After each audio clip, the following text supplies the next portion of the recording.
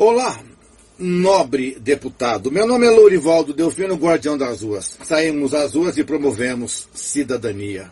Resultados. Eu sou aposentado e eu entrei o ano passado com um pedido, ou seja, uma solicitação para o bilhete único do idoso, a gratuidade no transporte público. O fato é, o prefeito Bruno Covas, em conjunto com o governador Dória, tiraram a gratuidade dos aposentados, das pessoas com mais de 60 anos, entre 60 e 65 anos, se baseando na reforma da Previdência. Eles dizem que a idade mínima é 65 anos. Só que, nobre deputado, eles esqueceram de um detalhe. A mulher se aposenta aos 62 anos.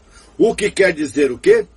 que ele sacaneou. Isso é sacanagem, pilantragem, safadeza. Nobre deputado, somos 20% de aposentados no Brasil, praticamente 41 milhões. Um quinto da força da economia brasileira. E tiram da gente o direito de andar de ônibus de graça. O fato é, nobre Deputado, esse vídeo é um ofício e um pedido de socorro à Vossa Excelência. Contamos com a sua atitude e com a sua representatividade.